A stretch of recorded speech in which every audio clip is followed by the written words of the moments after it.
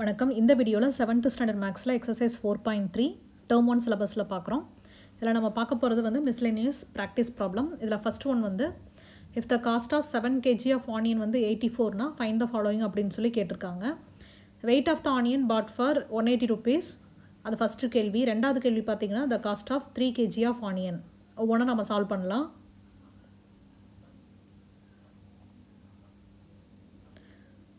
For eighty four ருபீஸ்க்கு வந்து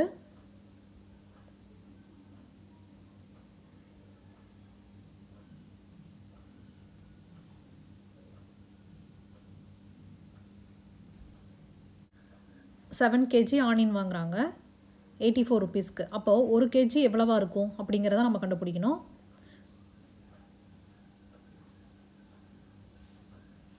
so அதை வந்து இன்வெஸ்ட் ப்ரொப்போர்ஷன் நம்ம போட்டுக்கலாம். ஒன் எயிட்டி ருப்பீஸ்க்கு எவ்வளோ எவ்வளோ கேஜி வாங்கியிருப்பாங்க அந்த ஆனியன் அப்படிங்கிறத நம்ம கண்டுபிடிக்கிறோம். ஸோ எக்ஸோட வேல்யூ பார்த்தீங்க அப்படின்னா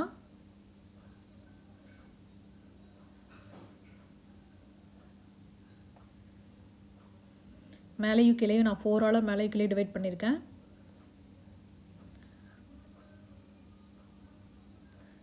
அப்புறம் த்ரீயால் டிவைட் பண்ணுறேன் மேலே இருக்கிற கீழே இருக்கிற செவனை வந்து நான் அடிச்சிட்டேன். ஆன்சர் பார்த்தீங்க அப்படின்னா எக்ஸ் ஈக்குவல் டு ஃபிஃப்டீன் அதாவது ஒன் எயிட்டி ருபீஸ்க்கு பதினஞ்சு கிலோ ஆனியன் வந்து அவங்களால வாங்க முடியும். கொடுத்துருக்கிற கேள்வியில் ஃபஸ்ட்டு ஒன்றுக்கு நம்ம ஆன்சர் கண்டுபிடிச்சிட்டோம் விச் இஸ் ஃபிஃப்டீன் கேஜி அடுத்தது அதுலேயே வந்து செகண்ட் பார்ட் இருக்கு இல்லையா? அந்த கேள்விக்கான ஆன்சரையும் நம்ம கண்டுபிடிக்கணும். அந்த கொஷனில் என்ன கேட்டிருக்காங்க? The cost of three kg of onion எவ்வளோன்னு கேட்டிருக்காங்க. So cost of three kg onion நம்ம கண்டுபிடிக்கணும் அப்படின்னா ஒரு கேஜியோட ஆனியன் எவ்வளோன்னு நம்மளுக்கு தெரியணும். ஸோ எக்ஸ் ஈக்குவல் டு எப்படி வேணாலும் கண்டுபிடிக்கலாம். Seven kg onion eighty four அப்படின்னா அப்போ ஒரு கேஜி ஆனியன் எவ்வளோவா இருக்கும்? Eighty four divided by seven so twelve ருபீஸாக இருக்குது ஒரு கேஜி அப்போ த்ரீ கேஜியோட ஆனியன் எவ்வளோவா இருக்கும்? டுவெல் இன்ட்டு த்ரீ தான் வந்து இதுக்கான ஆன்சர் தேர்ட்டி சிக்ஸ் ருபீஸ் ஆகும். அடுத்த sum if C equal to K D what is the relationship between C and D அப்படின்னு கேட்டிருக்காங்க. Find K when C equal to thirty and D equal to six மொத்தம் மூணு question இருக்குது and then find C when D is equal to ten அப்படின்னு சொல்லி கேட்டிருக்காங்க. ஒவ்வொன்றுக்கும் நம்ம ஆன்சர் பண்ணலாம்.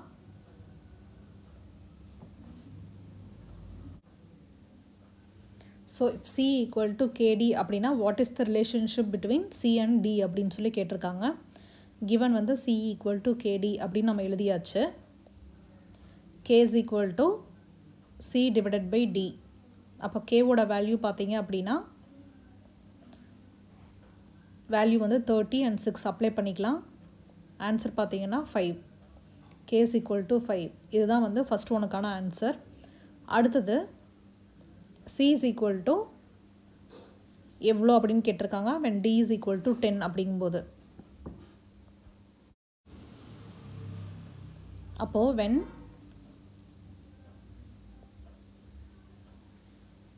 d is equal to six அப்படின்னு இருக்கும்போது சியோட வேல்யூ பார்த்தீங்க அப்படின்னா தேர்ட்டி அது வந்து ஃபஸ்ட்டு சம்மில் கொடுத்துருக்காங்க. நம்ம அது ஃபஸ்ட் ஒன்று இருக்கு இல்லையா? அதுலேருந்து தெரிஞ்சிருக்கோம். அப்போது டியோட வேல்யூ டென்னாக இருக்கும்போது சியோட வேல்யூ என்னவாக இருக்கும் அப்படிங்கிறதா வந்து நம்ம இதெல்லாமே கம்பேர் பண்ணி தான் கண்டுபிடிக்கணும்.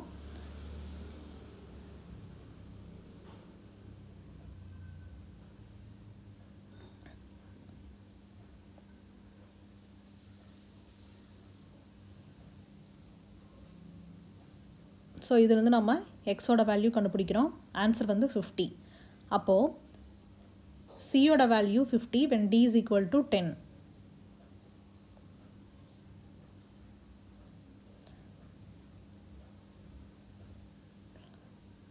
அடுத்தது every three months Tamil Selvan அப்படின்னு ஒருத்தர் இருக்கார். அவர் எவ்ரி த்ரீ மந்த்ஸ் வந்து ஃபைவ் தௌசண்ட் சேவிங் அக்கௌண்ட்டில் டெபாசிட் பண்ணுறாரு ஹவு மெனி இயர்ஸில் வந்து he can save one lakh fifty thousand rupees அப்படின்னு சொல்லி கேட்டிருக்காங்க.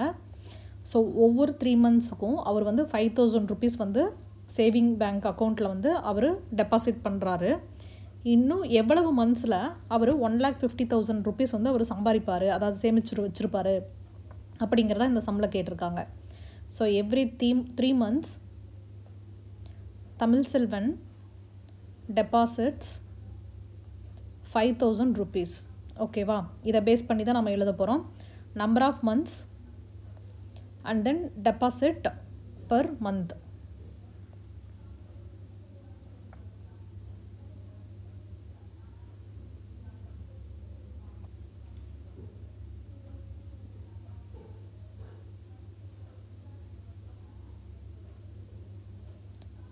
number of months 3 months once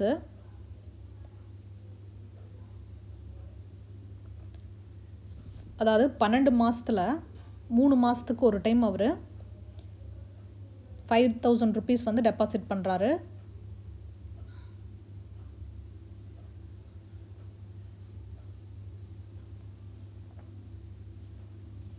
அப்போது ஒன் இயருக்கு அவர் thirty seven thousand five hundred rupees வந்து டெபாசிட் பண்ணுவார். பர் மந்த்துக்கு அவர் ஃபைவ் தௌசண்ட் டெபாசிட் பண்ணுறாரு அப்போது ஒன் லேக் ஃபிஃப்டி தௌசண்ட் அவர் டெபாசிட் பண்ணணுன்னா எவ்வளோ மந்த்ஸ் ஆகும் அப்படிங்கிறதான் கேட்டிருக்காங்க. அதை நான் எக்ஸ் அப்படின்னு சொல்லி எடுத்திருக்கேன். இது பார்த்தீங்கன்னா டைரக்ட் ப்ரொப்போர்ஷனில் வரும். ஏன் அப்படின்னா நம்பர் ஆஃப் மந்த்ஸ் நீங்கள் அதிகமாக கட்ட கட்ட நீங்கள் டெபாசிட் பண்ணுற காசும் வந்து அதிகமாகிட்டே போயிட்டுருக்கும். ஸோ நம்பர் ஆஃப் இயர்ஸ் அந்த டெபாசிட் வந்து டைரக்ட் ப்ரொப்போர்ஷனில் இருக்கும். காசு அதிகமாக அதாவது மந்த் அதிகமாக அதிகமாக நீங்கள் கட்டிட்டு போக போக காசும் அதிகமாகிட்டே போயிட்டுருக்கும். ஏன்னா ரெண்டுமே வந்து இன்க்ரீஸ் ஆகும் அட் த போ சேம் டைமில் அதனால தான் x one divided by y one equal to x two divided by y two அப்படின்னு சொல்லி எடுத்திருக்கேன். ஸோ அந்த வேல்யூவை வந்து நம்ம சப்ஸ்டியூட் பண்ணிக்கலாம். X one y one and then x two y டூக்கு three மந்த்ஸுக்கு five thousand rupees so x மந்தில் எவ்வளோ வந்து ஆகும் அப்படிங்கிறதா கேட்டிருக்காங்க. ஸோ இதை வந்து நம்ம சிம்பிளிஃபை பண்ணி எக்ஸோட வேல்யூ கண்டுபிடிச்சிக்கலாம்.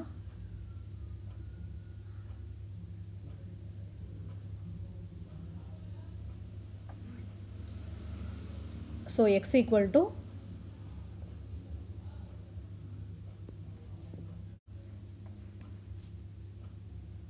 so எக்ஸோட வேல்யூ வந்து thirty seven five thousand divided by thirty seven thousand five hundred divided by five thousand நம்ம இது இன்னுமே சிம்பிளிஃபை பண்ணால்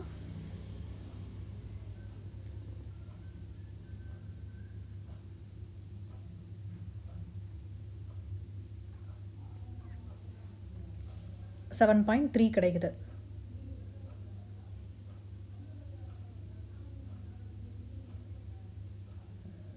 Seventy five divide by ten so இதை வந்து நம்ம செவன் பாயிண்ட் ஃபைவ் அப்படின்னு எழுதிக்கலாம். ஸோ பார்த்தீங்கன்னா செவன் டிவைடட் பை இந்த பாயிண்ட் ஃபைவ் வந்து நம்ம ஆஃப் அப்படின்னு வச்சுக்கலாம். So seven and half years ஆகும். அவர் ஒன் லேக் ஃபிஃப்டி தௌசண்ட் வந்து சேமிச்சு வைக்கிறதுக்கு. இதுதான் இதனுடைய ஆன்சர் அடுத்து ஃபோர்த்து சம் பார்க்கலாம்.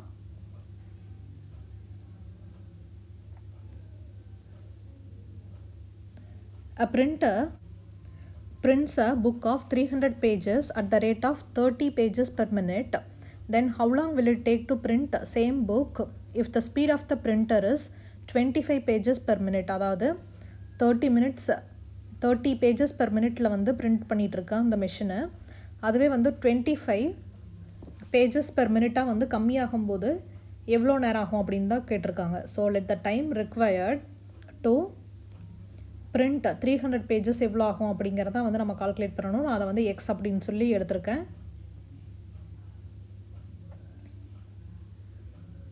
As the speed increases time taken to print the page will decrease. ஓகேவா ஸோ இது வந்து எப்படி இருக்குது இன்வெஸ்ட் ப்ரப்போர்ஷனில் இருக்குது so they are in invest proportion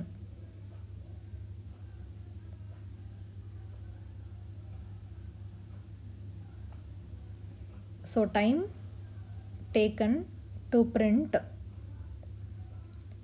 thirty pages வந்து ஒரு மினிட்டில் பிரிண்ட் பண்ணுறாங்க so time taken to print twenty five pages sorry three hundred pages வந்து எவ்வளோ டைமுன்னு பார்க்கணும். Three hundred divided by thirty போட்டோம்னா நம்மளுக்கு ஆன்சர் கிடச்சிரும். டென் மினிட்ஸில் பிரிண்ட் பண்ணுறாங்க அப்போது time taken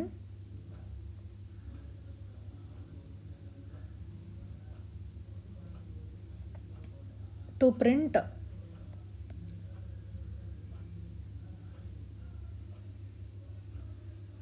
number of pages printed அப்படின்னு சொல்லி நம்ம ஒரு டேபிள் காலம் போட்டுக்கலாம் பெர் மினிட்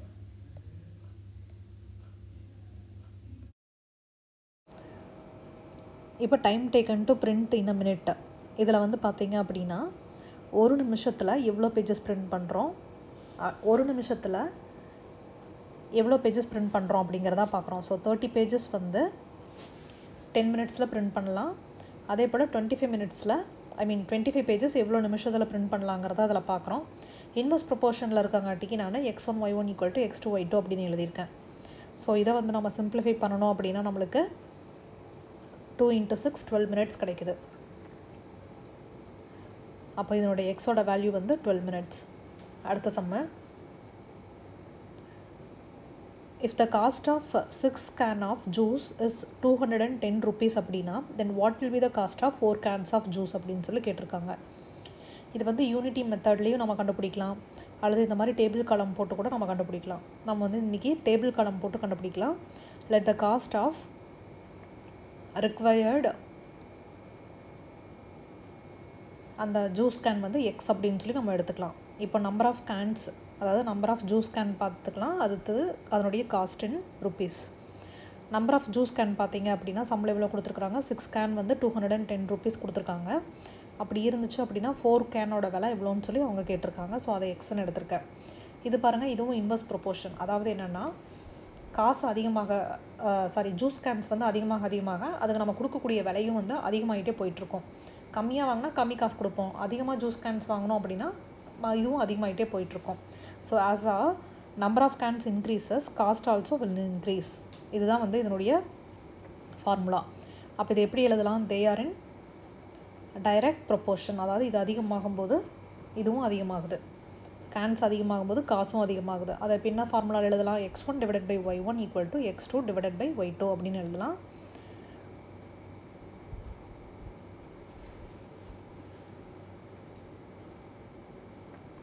இதை வந்து நம்ம சிம்பிளிஃபை பண்ணணும் அப்படின்னா நம்மளுக்கு எக்ஸோட வேல்யூ கிடைக்கும்.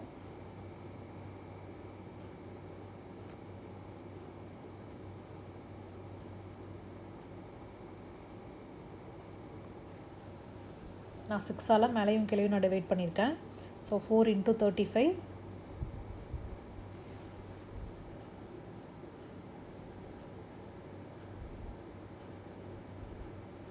one forty rupees நம்மளுக்கு கிடைக்குது. ஸோ இதுதான் வந்து இதனுடைய ஆன்சர் அடுத்த சம் பார்க்கலாம். X varies inversely as twice of y given that when y equal to 6 the value of x is 4 find the value of x when y is 8 அப்படின்னு சொல்லி கொடுத்துருக்காங்க. இந்த கேள்வி படிக்கும்போது நம்மளுக்கு ஒரே கன்ஃபியூஷனாக இருக்கும்.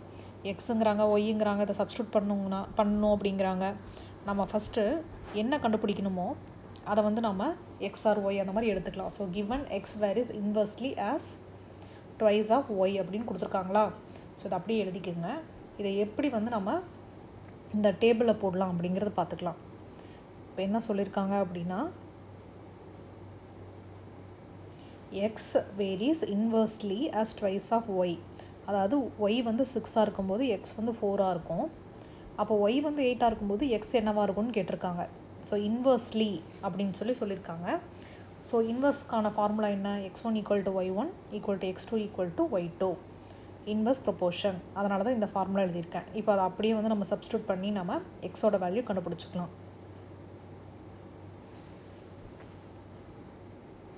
ஸோ எக்ஸோட வேல்யூ த்ரீ ஒய்யோட வேல்யூ எயிட்டாக இருக்கும்போது எக்ஸோட வேல்யூ நம்மளுக்கு த்ரீ அப்படின்னு கிடைக்கும் இதுதான் இதனுடைய ஆன்சர் அடுத்த சம் பார்க்கலாம்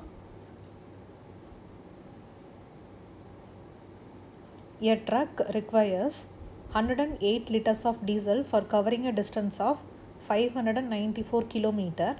How much diesel will be required to cover a distance of 1650 kilometer அப்படின்னு சொல்லி கேட்டிருக்காங்க ஸோ இதுவும் நம்ம எப்பவும் போல் டேபிள் காலம் யூஸ் பண்ணி நம்ம கண்டுபிடிச்சிக்கலாம். டிஸ்டன்ஸ் அதிகமாகும்போது பெட்ரோலும் அதிகமாகும். ஸோ இது என்னென்னா டைரக்ட் ப்ரொப்போர்ஷனில் வரும்.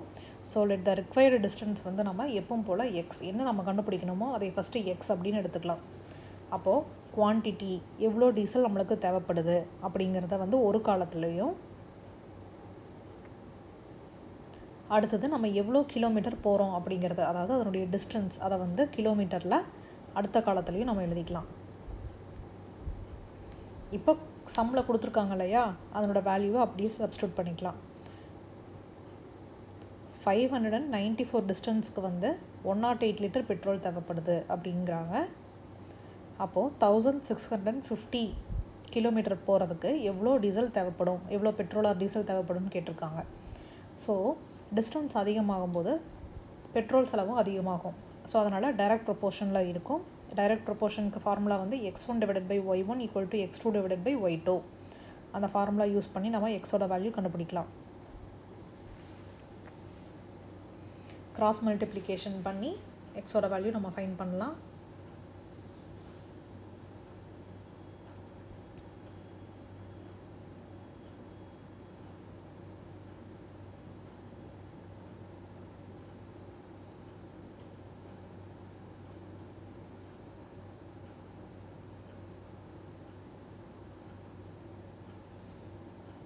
ஒன்றும் பெருசாக நம்பர் இருக்கங்காட்டிக்கு பயந்துராதீங்க. ஃபஸ்ட்டு நான் டூவால் தான் இப்போ மேலேயும் கீழேயும் நான் டிவைட் பண்ணிட்டு போகிறேன் அதுக்கப்புறம் அதுக்கேற்ற மாதிரி நம்ம டிவைட் பண்ணிக்கலாம்.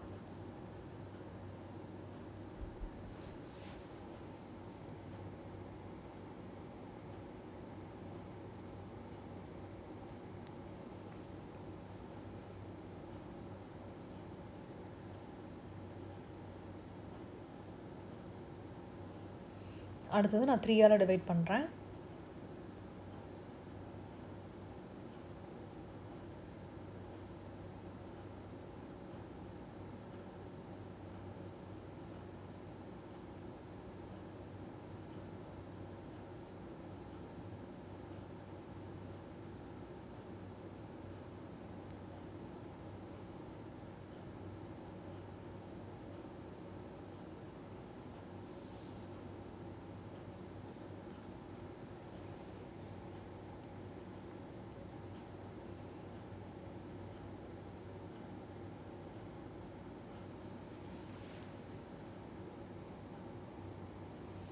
seventy five into four so இதை வந்து நம்ம மல்டிபிள் பண்ணோம் அப்படின்னா நம்மளுக்கு த்ரீ ஹண்ட்ரட் கிடைக்குது.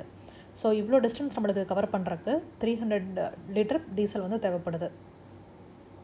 The diesel require to cover இந்த thousand six hundred and fifty கிலோமீட்டருக்கு வந்து த்ரீ ஹண்ட்ரட் லிட்டர் தேவைப்படுது. அடுத்த செம்ம சேலஞ்ச் ப்ராப்ளம் அடுத்தது எல்லாமே. If the cost of a dozen soap is three hundred and ninety four what will be the cost of thirty five such soap அப்படின்னு சொல்லி கேட்டிருக்காங்க. ஃபஸ்ட்டு ஒரு சோப்புக்கான விலை எவ்வளோன்னு சொல்லி கண்டுபிடிச்சிட்டு அந்த ஒரு சோப்புலேருந்து தேர்ட்டி ஃபைவ் வந்து நம்ம மல்டிபிள் பண்ணணும் அப்படின்னா அந்த தேர்ட்டி ஃபைவ் சோப்போட விலை எவ்வளோன்னு சொல்லி கண்டுபிடிச்சிடலாம். இது வந்து நம்ம யூனிட்ரி மெத்தடில் நம்ம சால்வ் பண்ண போகிறோம் ஃபஸ்ட்டு ஆல்ரெடி சொல்லியிருக்காங்க டசன் சோப் ஒரு டசன் அப்படிங்கிறது பன்னெண்டு சோப்பு அந்த பன்னெண்டு சோப்புக்கான விலை கொடுத்துருக்காங்க ஆல்ரெடி சம்மில் அதை ஃபஸ்ட்டு கண்டுபிடிக்கலாம். ஒரு டசன் வந்து டுவெல் ஓகேவா? இதிலிருந்து அந்த டுவெல் சோப்போட காஸ்ட்டை அவங்க ஆல்ரெடி சொல்லியிருக்காங்க. So cost of twelve soap வந்து three hundred and ninety six rupees அப்போ காஸ்ட் ஆஃப் ஒன் சோப் வந்து three hundred and ninety six divide by twelve இப்போ இதை நம்ம சிம்பிளிஃபை பண்ணலாம். Three twelves are thirty six so இதை வந்து நம்ம இன்னும் நம்ம டிவைட் பண்ணணும் அப்படின்னா நம்மளுக்கு தேர்ட்டி த்ரீ கிடைக்குது. ஸோ ஒரு சோப்போட காஸ்ட்டு பார்த்தீங்கன்னா தேர்ட்டி த்ரீ ருபீஸ் சம்பளம் எவ்வளோ கேட்டிருக்காங்க? Cost of thirty five soaps எவ்வளோன்னு கேட்டிருக்காங்க. So cost of thirty five soaps equal to thirty three into thirty five போட்டோம்னா நம்மளுக்கு ஆன்சர் கிடச்சிரும்.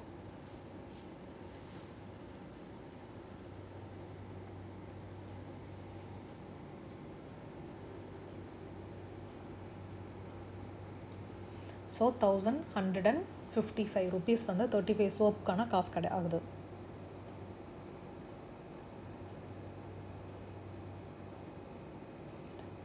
இதுதான் ஆன்சர் அடுத்த சம் பார்க்கலாம். In a school there is seven period of day each of forty five minutes duration How long each period is if the school has 9 periods a day, assuming the number of hours to be the same.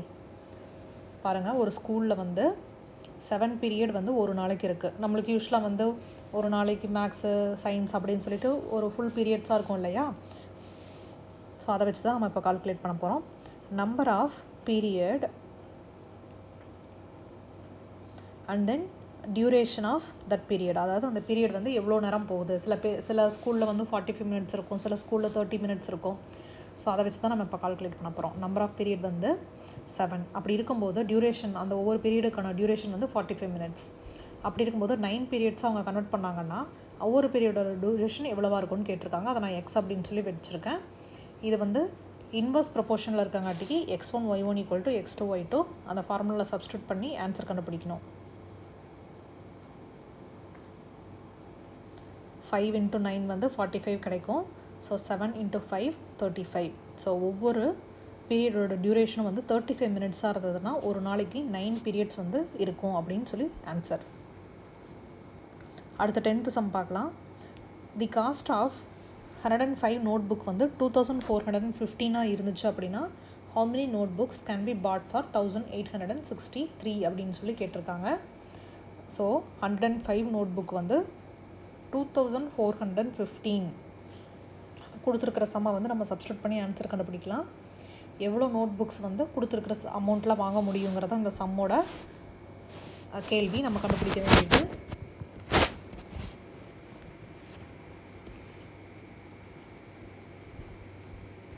For two thousand four hundred and ஃபிஃப்டீனுக்கு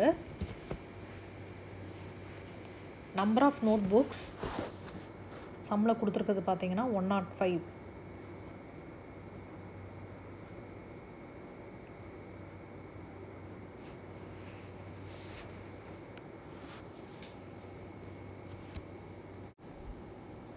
அப்போது ஒரு note புக்கோட விலை பார்த்தீங்கன்னா two thousand four hundred fifteen divided by one naught five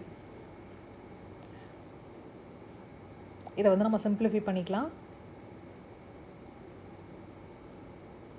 first ஃபைவால் மேலையும் கிளையும் ஈஸியாக divide பண்ணிடலாம். ஏன்னா ரெண்டுமே வந்து ஃபைவ்ல முடியுதா? ஸோ அதனால் ஃபைவால் மேலையும் கிளையும் டிவைட் பண்ணிக்கலாம்.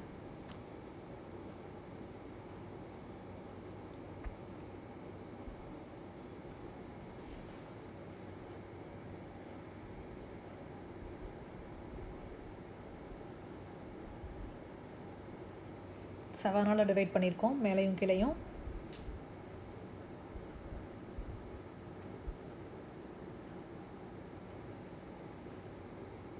அடுத்தது த்ரீயால் டிவைட் பண்ணுறோம் ஸோ ஒரு நோட் புக் பார்த்தீங்க அப்படின்னா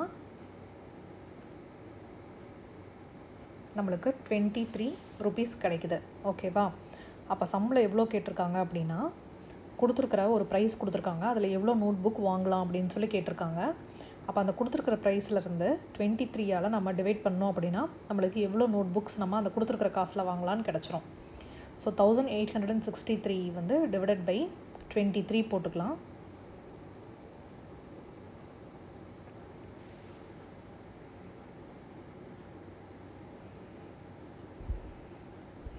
இது பார்த்திங்கன்னா கீழேயும் ஆட் நம்பராக இருக்குது மேலேயும் ஆட் நம்பராக இருக்குது நம்ம டைரெக்டாக டுவெண்ட்டி த்ரீயால் சால்வ் பண்ணுறது ரொம்ப கஷ்டமாக இருக்கும். ஸோ டிவிஷன் மெத்தட் யூஸ் பண்ணி நம்ம சால்வ் பண்ணலாம்.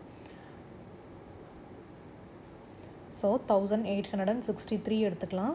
அதில் வந்து ஒன் எயிட்டி த்ரீயில் அந்த டுவெண்ட்டி த்ரீ எவ்வளோ டைம் அடங்குதுன்னு பார்க்கலாம் ஸோ டுவெண்ட்டி த்ரீயில் வந்து சாரி அந்த ஒன் எயிட்டி த்ரீ அந்த ஃபஸ்ட்டு த்ரீ டிஜிட்ஸ் நம்பரில் எவ்வளோ டைம் அடங்குதுன்னு பார்க்கலாம் எயிட் டைம்ஸ் அடங்கும்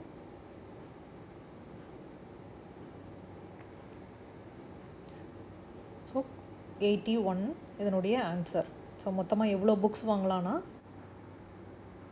ஸோ வந்து எயிட்டி ஒன் புக்ஸ் வந்து நம்ம thousand eight hundred and sixty three ருபீஸ்க்கு வாங்கலாம். இதுதான் இதனுடைய ஆன்சர் அடுத்த சம் பார்க்கலாம்.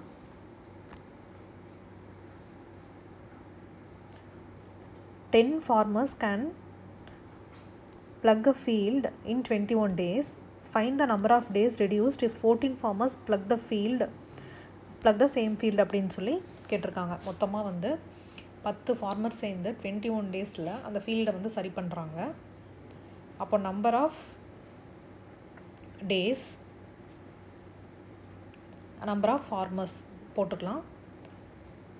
அப்போ டென் டுவெண்ட்டி ஒன் டேஸில் டென் ஃபார்மர்ஸ் வேலை செய்கிறாங்க அப்படி இருக்கும்போது எக்ஸ் டேஸில் ஃபோர்டீன் ஃபார்மர்ஸ் வேலை செஞ்சாங்கன்னா எவ்வளோ டேஸில் அதை சரி பண்ண முடியும்னு கேட்டிருக்காங்க. அதே சேம் ஃபீல்டை ஃபார்மர்ஸ் அதிகமாகும்போது ஈஸியாக சீக்கிரம் கம்மியான டேஸ்லேயே வந்து அந்த ஃபீல்டை சரி பண்ணிட முடியும். இல்லையா? ஸோ வந்து இது எப்படி ப்ரொப்போர்ஷனில் இருக்கும்? இன்வெஸ்ட் ப்ரொப்போர்ஷனில் இருக்கும். So x one into y one equal to x one into y one equal to x two into y two இதுதான் என்னுடைய ஃபார்முலா இதில் சப்ஸ்டியூட் பண்ணி ஈஸியாக ஆன்சர் கண்டுபிடிச்சிடலாம். இது வந்து very straight forward question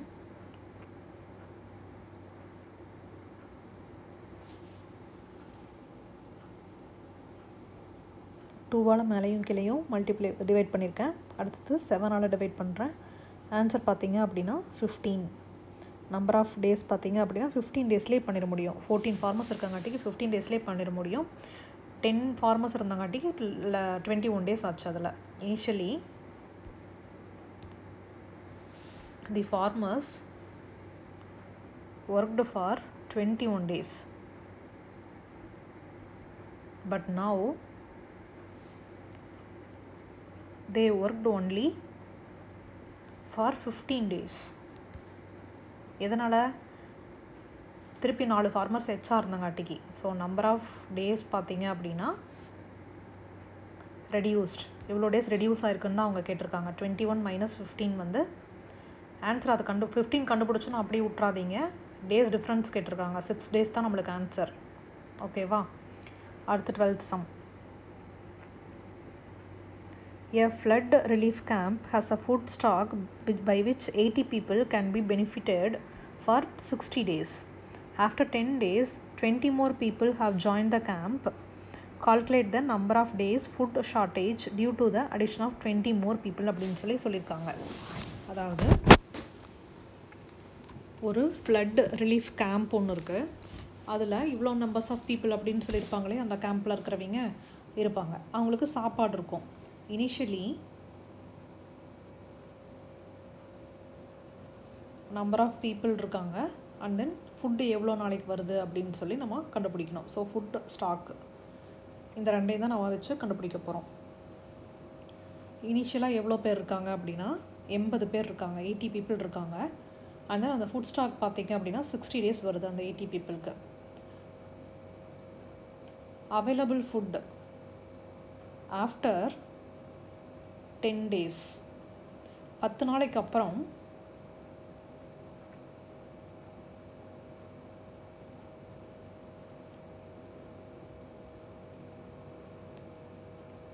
ten டேஸ்க்கு அப்புறம் அதே எயிட்டி பீப்புளுக்கு எவ்வளோ இருக்கும் அப்படின்னா பத்து நாள் போயிடுச்சு அதனால் சிக்ஸ்டி மைனஸ் டென் ஃபிஃப்டி டேஸ்க்கு அந்த ஸ்டாக் வரும்.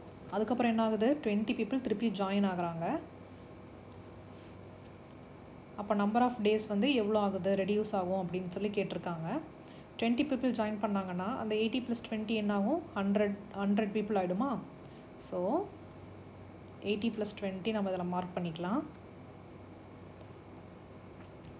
அப்போ அந்த ஃபுட் ஸ்டாக் எவ்வளோ நாளைக்கு வருங்கிறதா அந்த கேள்வி. அதனால் நான் அதை எக்ஸ் அப்படின்னு சொல்லி எடுத்திருக்கேன். இப்போ இது வந்து என்ன ப்ரொப்போர்ஷனில் இருக்கும்? இன்வெர்ஸ் ப்ரொப்போர்ஷனில் இருக்கும். ஏன் அப்படின்னா பீப்புள் அதிகமாக சேரும்போது ஃபுட் ஸ்டாக் வந்து கம்மியாகும். ஏன்னா ரொம்ப நாளைக்கு வராது. As a number of people increases food stock வந்து will reduce will decrease so food last for less number of days அப்படின்னு சொல்லி எழுதிக்குங்க. ஸோ அது வந்து எப்படி இருக்கும் அப்படின்னா இன்வெஸ்ட் ப்ரொப்போர்ஷனில் இருக்கும். அப்போ இன்வெஸ்ட் ப்ரொப்போர்ஷனுக்கு என்ன formula x one into y one equal to x two into y two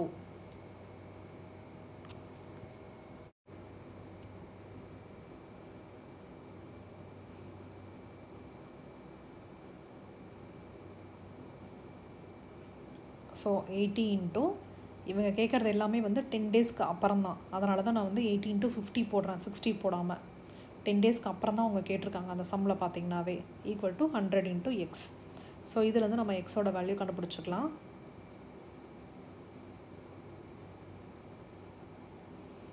so திருப்பியும் அந்த டுவெண்ட்டி மெம்பர்ஸ் எக்ஸ்ட்ரா ஆட் ஆகிறங்காட்டிக்கு ஃபார்ட்டி டேஸ்க்கு மட்டும்தான் அந்த ஃபுட்டு வந்து அவங்களுக்கு வரும்.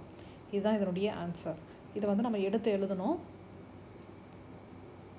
நம்பர் ஆஃப் டேஸ் ஷார்ட்டேஜ் எவ்வளோ ஆகும்னு கேட்டிருக்காங்க.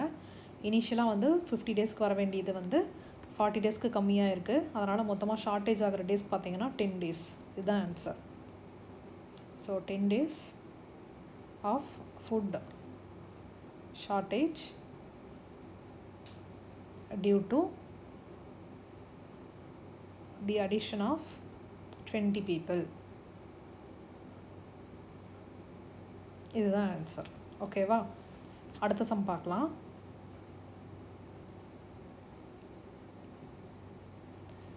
Six men can complete a work in twelve days two days later six more men join them how many days will they take to complete the remaining work அப்படின்னு சொல்லி கேட்டிருக்காங்க. இது ரொம்ப straight forward question first இனிஷியலாக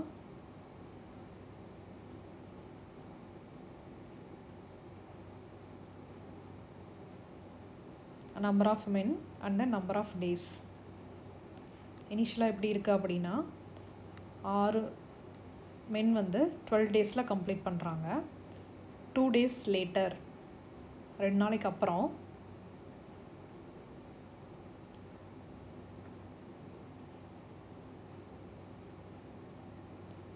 அதே ஆறு men number of days கம்மியாயிடுது. Twelve minus two வந்து டென் டேஸ் இப்போ நடக்கிறத நம்ம பார்க்க போகிறோம் அந்த டூ டேஸ் லேட்டருக்கு அப்புறம். ரிமைனிங் ஒர்க்கர் எவ்வளோ இருக்காங்க அப்படின்னா ஆஃப்டர் டூ டேஸ் ரெண்டு நாளைக்கு அப்புறம் திருப்பியும் ஆறு பேர் ஜாயின் பண்ணுறாங்க ஸோ டுவெல் ஒர்க்கர்ஸாக மாறுறாங்க. டுவெல் மந்த்ஸ் வேலை செய்கிறாங்க ஸோ எம்ப எவ்வளோ நாளில் கம்ப்ளீட் பண்ணுவாங்கங்கிறதான் கேள்வி. ஸோ அதை நான் எக்ஸ் அப்படின்னு எடுத்திருக்கேன். நம்பர் ஆஃப் ஒர்க்கர்ஸ் அதிகமாகும் போது கம்ப்ளீட் பண்ணுறதுக்குரிய நாள் வந்து கம்மியாயிட்டு போகும். ஸோ இதுலேருந்து என்ன தெரியுது? இது இன்வர்ஸ் ப்ரொபோர்ஷன் அதனால தான் x one into y one equal to x two into y டூவில் சப்ஸ்டியூட் பண்ணியிருக்கேன் ஸோ இதுலேருந்து எக்ஸோட வேல்யூ பார்த்தீங்கன்னா ஃபைவ் டேஸ் ஸோ திருப்பியும் ஆறு பேர் ஜாயின் பண்ணுறங்காட்டிக்கு அந்த ஒர்க்கை ஃபைவ் டேஸ்லேயே கம்ப்ளீட் பண்ண முடியும். Remaining work will be completed in 5 days. இதோட இந்த எக்ஸசைஸ் கம்ப்ளீட் பண்ணுறோம் இந்த வீடியோ யூஸ்ஃபுல்லாக இருந்துச்சு அப்படின்னா சமைச்சர் கல்வி படிக்கிறவங்களுக்கு ஷேர் பண்ணுங்கள் லைக் பண்ணுங்கள் உங்களுக்கு ஏதாவது கொஷின் இருந்துச்சுன்னா கீழே கமெண்ட் பண்ணுங்கள் இது வீடியோ ரிலேட்டடான அப்டேட்ஸ் கிடைக்கிறதுக்கு கீழே இருக்கிற சப்ஸ்கிரைப் பட்டனை கிளிக் பண்ணுங்கள் தேங்க்யூ